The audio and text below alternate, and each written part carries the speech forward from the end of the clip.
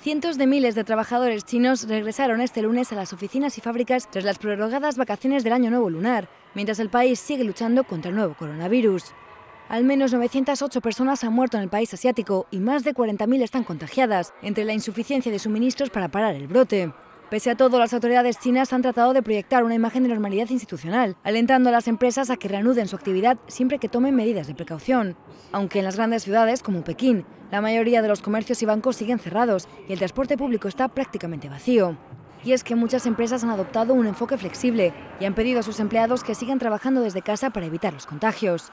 Lo cierto es que se han registrado notables caídas en las llegadas por tren, ya que de los 10 millones de personas que salieron de Pekín para las vacaciones, 8 millones todavía no habían regresado la semana pasada.